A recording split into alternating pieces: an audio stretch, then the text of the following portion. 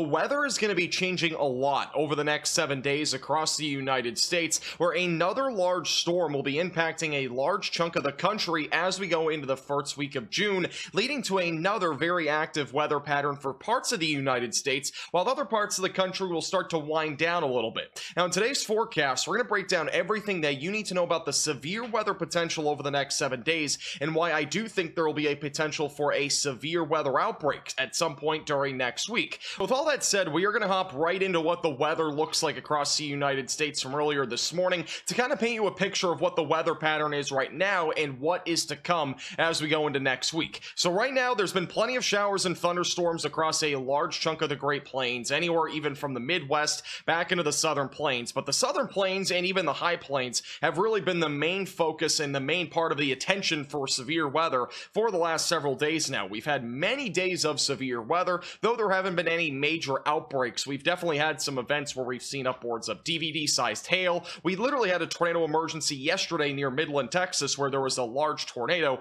So things have been very crazy, and there's been plenty of thunderstorms here. But there is reason to believe that this weather pattern that we currently have will kind of flip the script a little bit. Instead of storms being super focused down here in the southern plains, we are likely going to see a large scale trough ejection next week that'll focus more attention on areas like the Midwest and the Ohio Valley. And that's what we're going to be talking talking about a lot in today's forecast is overall the general dynamics of what we're going to be seeing over the next seven days and how this change is exactly going to happen. Before we dive into the details of the big pattern change that's coming, I do want to touch on the severe weather threat for both today and tomorrow, as there are already storms ongoing in areas like Texas, and severe weather will be possible this morning and as well as into the afternoon hours. Notice for today, it's pretty much the same area that we've been talking about for the last three or four days now. Another slight risk back over in the high plains and another slight risk back over in parts of the lower Mississippi Valley and as well as back into Texas where the threat for damaging winds, large hail, and a few tornadoes will all be possible today.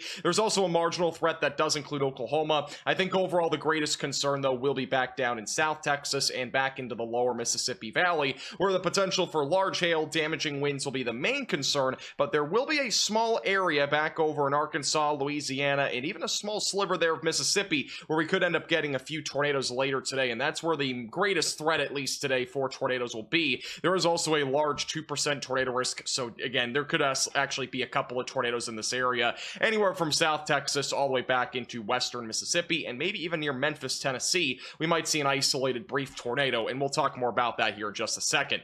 Once we go into Saturday, severe weather, pretty much the same exact area, actually a little bit larger in nature. Another large marginal threat back down in areas like Texas and as well as back into the Gulf Coast, where some more sporadic wind and hail events will be possible. I'm not really expecting a tornado risk on Saturday, but there might be a low tornado risk over in the high plains on Saturday. Very rural areas here, anywhere from western Nebraska back into the uh, hill country of Texas, where there will be a potential for damaging winds, large to very large hail, and maybe even an isolated tornado. Two spots where I'd be watching for that tornado potential, one of which in northeast Colorado, and the other one back over in west Texas, just west of Midland, where we had that tornado tornado emergency yesterday. Let's go hour by hour with today's severe weather setup, and we already have a line of storms that's ongoing back over north of Houston with mostly a wind threat. That'll continue to move into Houston as we go throughout the morning this morning with damaging winds being the main concern, some large hail, and maybe a brief tornado. Don't be surprised, by the way, if there's a storm there, maybe producing winds upwards of 70 to 75 miles per hour.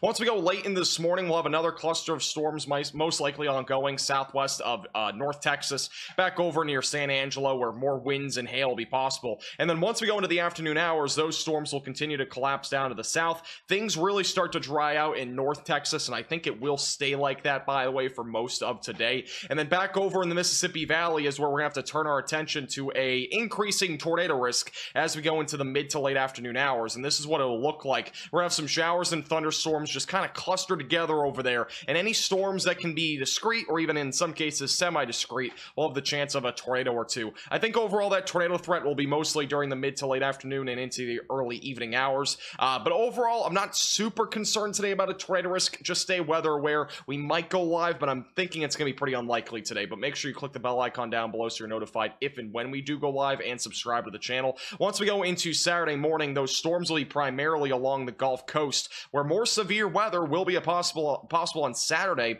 Once we go into the afternoon and evening, right now, North Texas and Oklahoma Oklahoma don't look too bad, at least going into Saturday afternoon and evening, but we might get some storms there after sunset or maybe even near sunset that could produce some hail and wind. But I think it's a low risk overall. And then High Plains Madness is going to be in effect, which this will be happening a lot of the time as we go throughout the rest of June as well. So don't be surprised with these sorts of events there back over in West Texas and even into New Mexico, where hail, wind, and even some tornadoes will be possible. But again, very rural areas for the most part as we go into Saturday evening. Now, beyond today, the severe weather threat does get a bit interesting because we're not going to be in the same exact weather pattern that we've been in for the last several days. And you'll notice the jet stream right now. The jet stream is lifted way back up to the north, where we have this large ridge that's in place. It's an omega block pattern. And what that essentially means is that we have a large dry and as well as warm area of air mass, basically, that's dominating much of the United States. And this will continue for the next few days. But once we go into the late weekend and into early next week,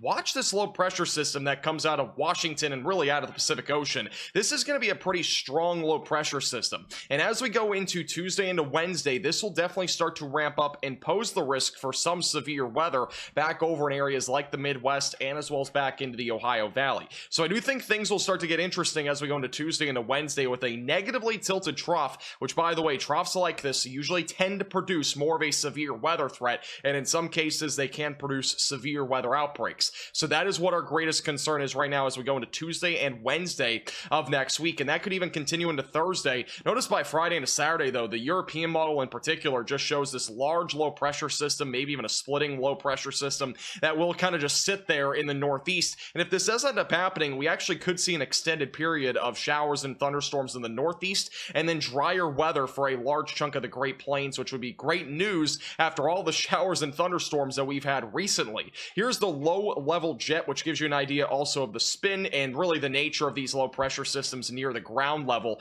And by the time we go into Tuesday evening, we're going to have that low level jet really cranking out of the southwest across the Midwest. This should favor at least a modest tornado threat. Wednesday does look a little bit more concerning, and then Thursday into Friday kind of becomes more broadened out by that point. But it looks like right now, Tuesday, Wednesday, in my opinion, are the two days to watch for for a more organized threat of severe weather. Though we could see severe weather on Sunday and Monday, um, I still think Tuesday might be one of the worst days when it comes to the severe weather threat. But again, things could change between now and then, so we'll keep you posted with the latest. Another thing I want to show you is the moisture content, and with the current weather pattern that we have, the moisture just does not go that far up to the north. And these are the dew points, and really we need dew points in the 60s and 70s for there to be more organized severe weather. And that would create a lot of buoyancy when we have dew points in the 60s and 70s that is all right now down in the southern plains. But once we go into saturday into sunday this does become a bit more spread out in nature. So we could end up seeing some showers and thunderstorms even back in areas like the midwest and even the northern plains. But even if we do most of those storms will not be that severe because just the environment is not favorable for severe weather. Even though we have a lot of moisture it's just not enough. But once we go into monday into tuesday we should start to see some more organization. And notice this as we go into Tuesday evening, we could end up getting some sort of organized severe weather threat back over in the Midwest. And then once we go into Wednesday, that threat could become even more organized back over in the Ohio Valley. So those are the two days that I'm watching for right now over the long term for some sort of threat of severe weather. By the weekend, things become really just kind of simmering down, at least in those areas, and it looks like we'll have at least some sort of, you know, severe weather event maybe back down in the southern plains again, like what we've been having for the last, you know, several days now. Another pretty important ingredient for severe weather is instability, and this is basically what fuels storms and severe storms as well. Once we go into Monday into Tuesday, that instability really surges to the north, where warmer weather will start to kind of trigger a lot more instability here. Notice as we go into Tuesday, that instability axis becomes more favorable across areas in the Midwest, so that is one area that I'll be watching for some severe weather on uh, Tuesday. And then once we go into Wednesday, we'll likely also get another organized setup for severe weather in the Ohio Valley and even parts of the Midwest for Wednesday. And then by Thursday into Friday, we might get some severe weather on the East Coast on maybe Thursday and or Friday, but things don't look super organized. And eventually by next weekend, things at least for now look to be quieting out, which is very good news. Now, as we go into the future radar for showers and storms for the next few days, overall, again, storm activity will remain uh, pretty much up there back over in the southern plains for both today and tomorrow. Notice on Saturday, though, into Sunday morning, we'll have some showers and thunderstorms in the Midwest and the Ohio Valley. Those overall overall, not looking too concerning, just, you know, ordinary showers and thunderstorms for the most part. By the time we go into Sunday evening, we could get a large area of thunderstorm activity across a large chunk of the Great Plains, which could lead to some damaging winds, hail, and maybe even a few tornadoes. By the time we go into Monday, those storms move into the Midwest with maybe another low-end risk for severe weather. By Tuesday, a more organized low pressure system will come out of the, uh, you know, the, over the Rocky Mountains and also out of the Pacific Ocean. This will lead to a more organized risk for severe weather on Tuesday, and by the time we go into Wednesday, another organized threat for severe weather will exist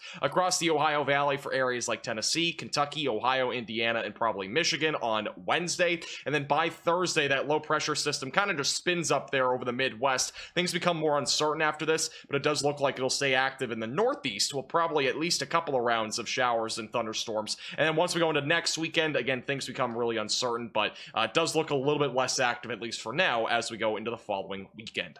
Make sure to subscribe to the channel and like the video.